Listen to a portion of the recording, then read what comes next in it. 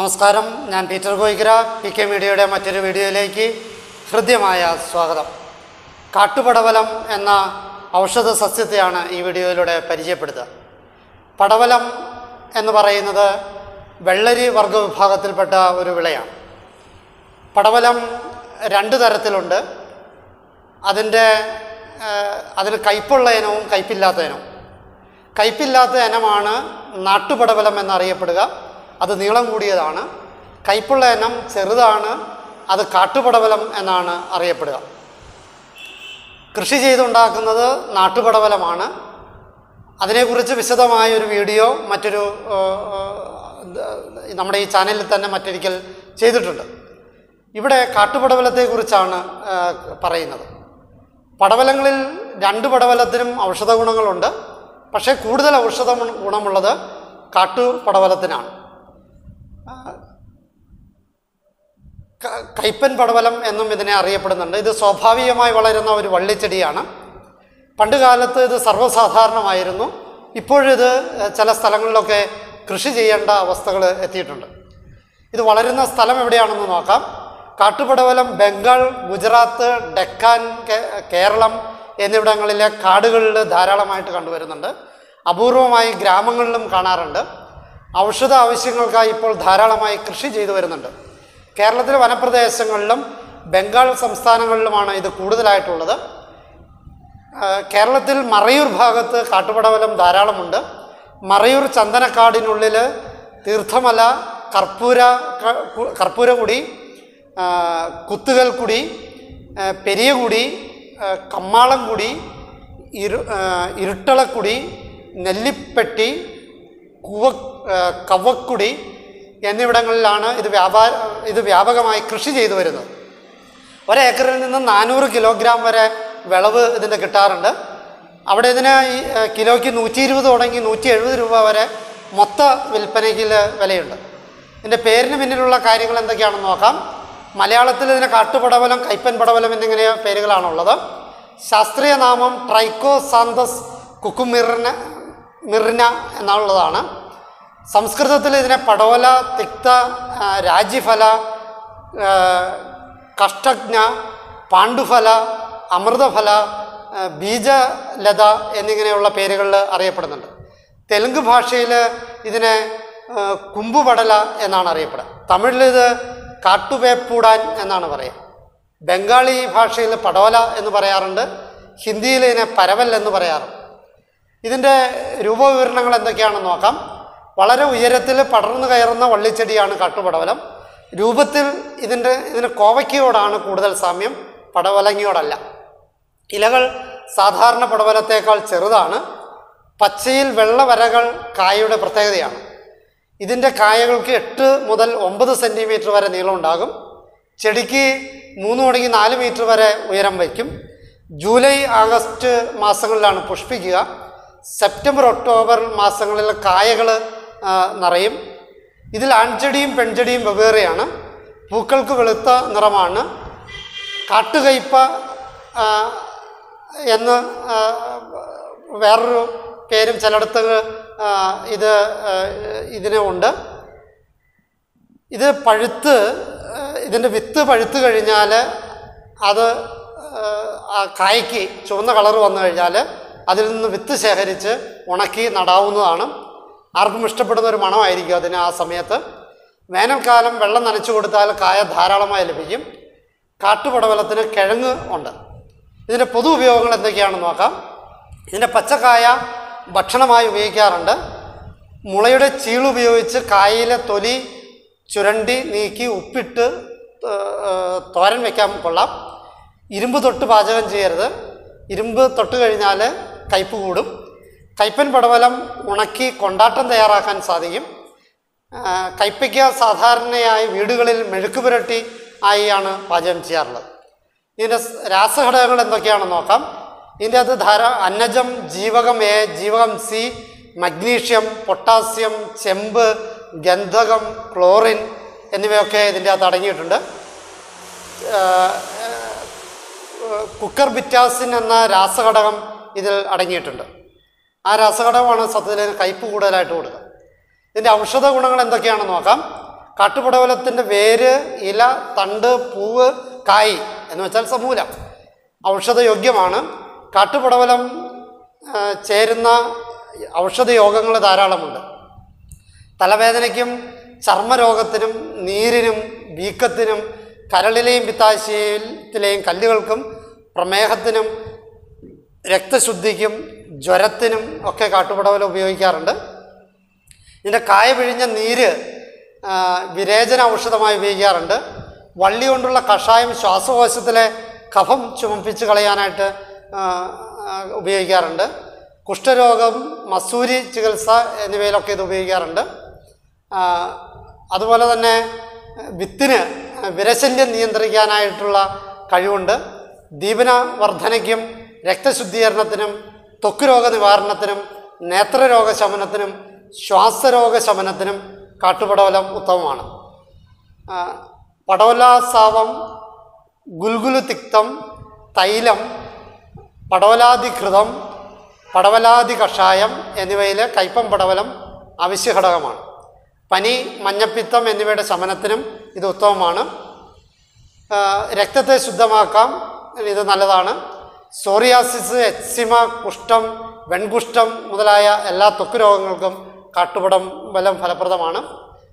നിംബാദി കഷായ യോഗം പുനർനവാദി കഷായം തിക്തകം കഷായം ബൃഹത് മഞ്ചിഷ്ടാദി മുതലായ കഷായങ്ങളിൽ കാട്ടുപടവലം ഉപയോഗിക്കാറുണ്ട്. ഇതിന്റെ പാർശ്വഫലങ്ങൾ എന്തൊക്കെയാണെന്ന് നോക്കാം.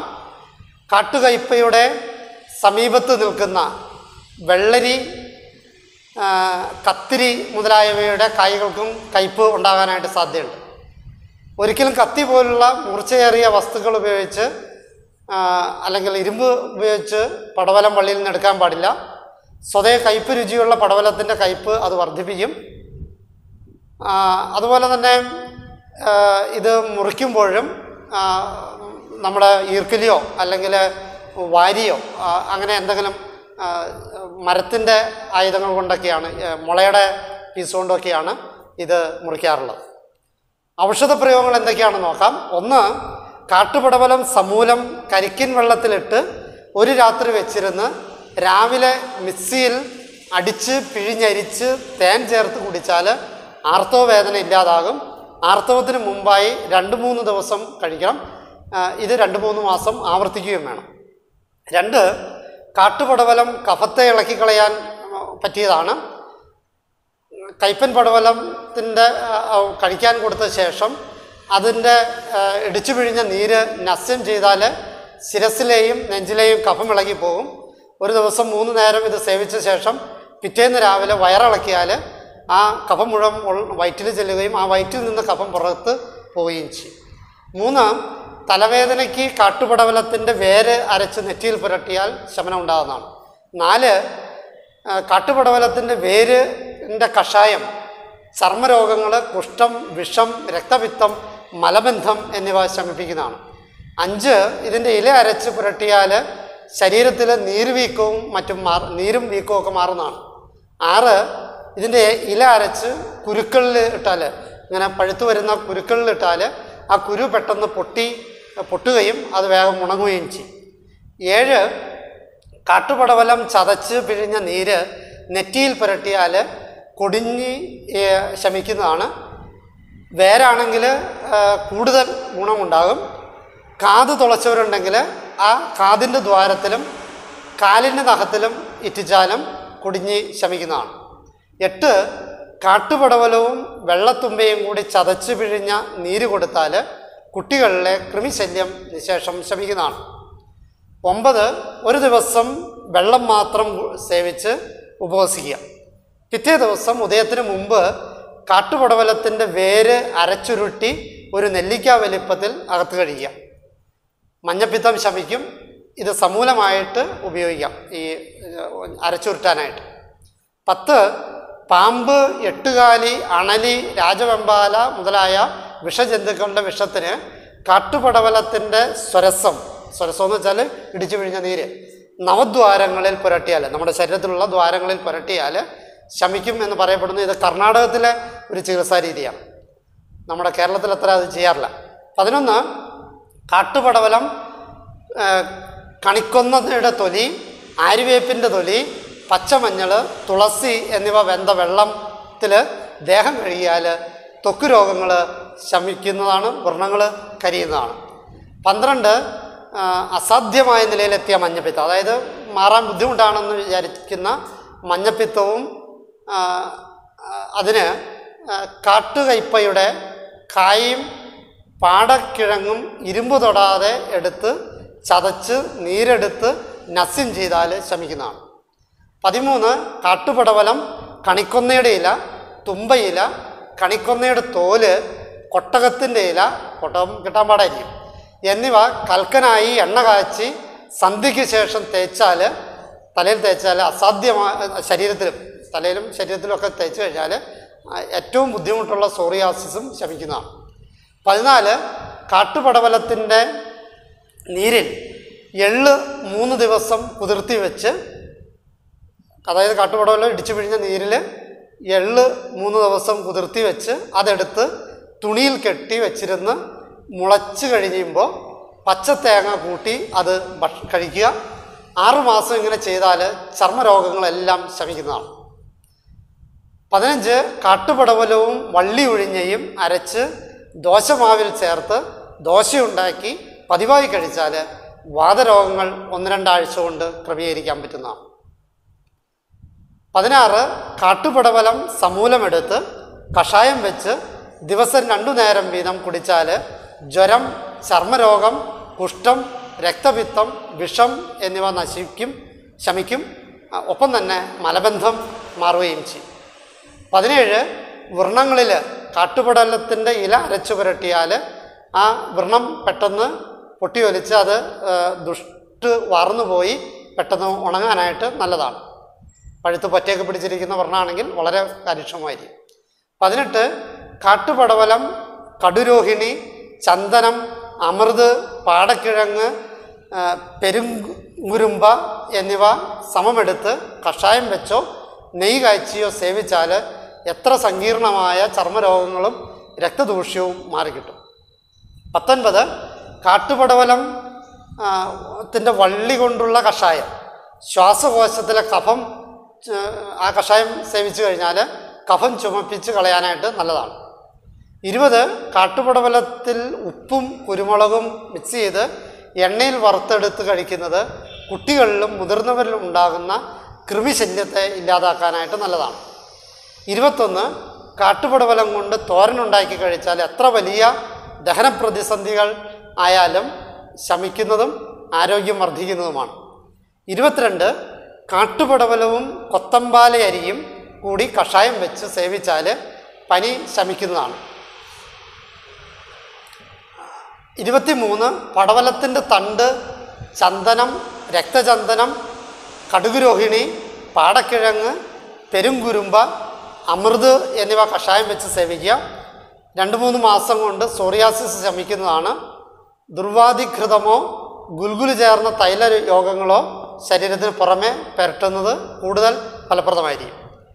ഇരുപത്തിനാല് ഈ ഇത് കാട്ടുപടവലം സ്വരസമായോ കഷായമായോ തോരനായോ എങ്ങനെ കഴിച്ചാലും രക്തശുദ്ധിക്ക് ഉത്തമമാണ്. കഷായമായി കഴിക്കുമ്പോൾ കരിങ്ങാലി മഞ്ചട്ടി കാർഗോലരി കണിക്കൊന്നയുടെ തൊലി എന്നിവ ചേർത്ത് കഷായം വെച്ച് സേവിക്കുന്നതാണ് കൂടുതൽ നല്ലത്. അതുപോലെ തന്നെ രക്തം ശുദ്ധമാവുകയും എല്ലാത്തരം ത്വക്ക് രോഗങ്ങൾ ശമിക്കുകയും ചെയ്യും. കൂടാതെ മലബന്ധം അകറ്റും ഗ്യാസ് ട്രബിൾ അസിഡിറ്റി എന്നിവ ഇല്ലാതാക്കാൻ പറ്റും ദഹനം വർദ്ധിപ്പിക്കും വയറ്റിൽ കൊളുത്തിപ്പിടിക്കുക പോലുള്ള വേദന ഉണ്ടാക്കുന്ന ആന്ത്രശൂലകൾ ഇല്ലാണ്ടാകും. ഇങ്ങനെ കയ്പുള്ള ഈ സസ്യം അല്ലെങ്കിൽ ഇത് വളരെയേറെ ഫലപ്രദമാണ് എന്ന് നിങ്ങൾക്ക് മനസ്സിലായി കാണും. ഇവിടെ പറഞ്ഞിട്ടുള്ള ഈ ഔഷധ പ്രയോഗങ്ങൾ ഇത് അറിഞ്ഞിരിക്കാൻ വേണ്ടി പറഞ്ഞത് മാത്രമാണ് അറിവിന് വേണ്ടിയിട്ട് മാത്രമാണ്.